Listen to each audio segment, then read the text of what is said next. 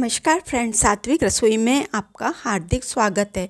क्या आपकी क्रिस्पी भिंडी बनाने के कुछ देर बाद ही उसका कुरकुरापन ख़त्म हो जाता है?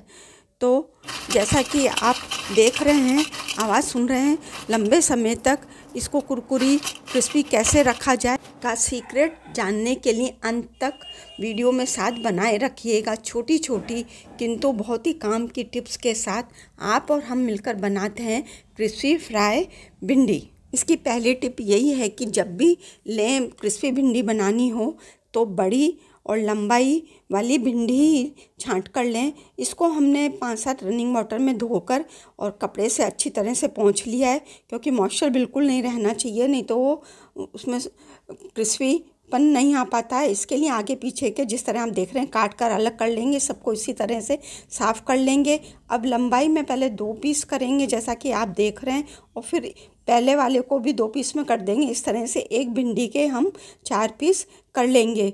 सभी को इसी तरह से तैयार कर लेंगे। जैसा कि आप देख रहे हैं, इस तरह हमें चार पीस करके सभी तैयार करनी है। ये हमारी सभी तैयार हो चुकी है, इनको अच्छी तरह से हिला लेंगे ताकि जितने बीज निकल सके, निकल जाएँ। अब बीज को भी आसानी से निकालने के लिए एक टिप है, जिसके लिए कि हम एक से दो चम्मच सूजी लेंगे, जो कि भिंडी काटने के बाद जो मॉइस्चर आ गया है उसको भी ये सूजी सूख लेगी क्रिस्पीपन लाएगी और तीसरा, ये बीज निकालने में हमारी मदद करेगी। दो तीन बार हम इसे ऊपर नीचे करेंगे तो उससे काफ़ी बीज हमारे अलग हो जाएँगे। जैसा कि आप देख रहे हैं कितने बीज नीचे आ चुके हैं। अब हम इसमें एक चम्मच सूजी और मिला लेंगे, जिससे कि जो बीज और रह गए वो भी इसको मॉइस्चर सोखने के बाद निकल जाएँगे।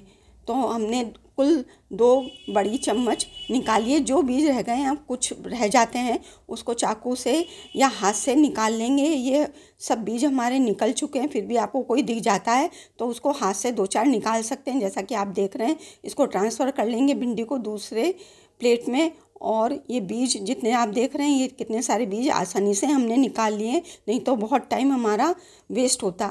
अब इसमें हम कलर के लिए मिलाएँगे हल्दी पाउडर, आधी छोटी चम्मच लाल मिर्च पाउडर, थोड़ा स्पाइसी बनाने के लिए आधी छोटी चम्मच और धनिया पाउडर एक छोटी चम्मच लिया है।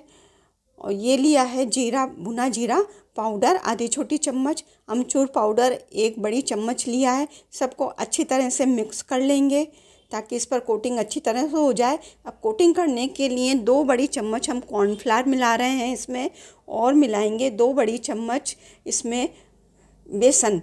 ये बेसन महीन लेंगे ताकि कोटिंग अच्छी तरह से हो जाए इस पर। और नमक अब मिलाएँगे, आधी छोटी चम्मच। अभी हमने मसाले कम ही मिलाएँ क्योंकि हमें डीप फ्राई भी करना है। अच्छी तरह से सबको मिक्स कर लेंगे। अब कोटिंग इस पर अभी अच्छी तरह से नहीं हुई है। इसके लिए हम पानी को स्प्रिंकल करेंगे। एक छोटी चम्मच पहले कर लिया है। अभी और हमें एक छोटी चम्मच और कर लेते हैं। अब ये अच्छी तरह से कोटिंग हो जा रही है इसको।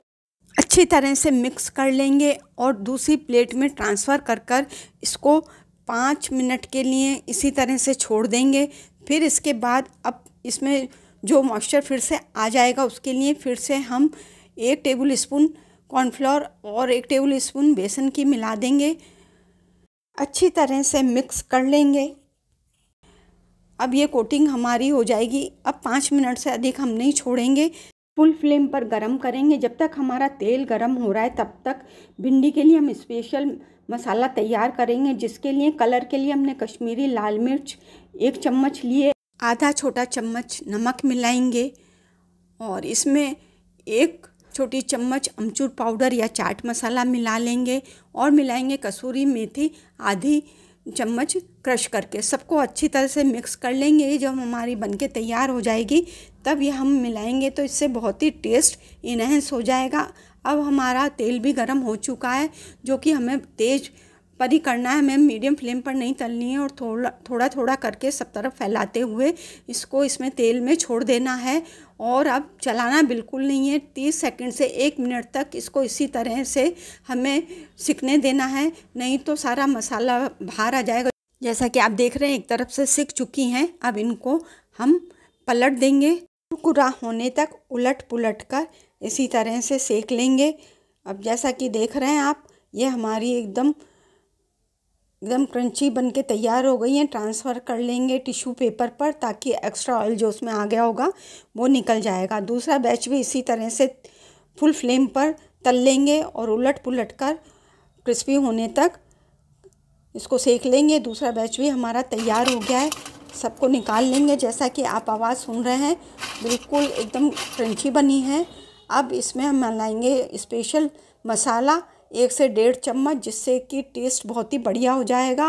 होटल रेस्टोरेंट स्टाइल हमारी क्रिस्पी क्रंची ओकरा भिंडी बनके तैयार हो गई है। छो या डिनर हो साइड डिश के रूप में आप सर्व कर सकते हैं, या वैसे भी चाय के संग ये कुरकुरी भिंडी सर्व कर सकते हैं। तो फ्रेंड्स, आपको वीडियो कैसा लगा? पसंद आया हो तो लाइक करें, अधिक से अधिक शेयर करें। चैनल पर पहली बार हैं तो सब्सक्राइब करना ना भूलें। बेल आइकन को हिट करेंगे तो मेरे वीडियो अपलोड करते ही सबसे पहले आपके पास पहुँचेंगे। जल्दी ही नए वीडियो के साथ फिर मिलते हैं। Thank you take care bye bye घर का बना खाना खाएँ, स्वस्थ रहें, मस्त रहें।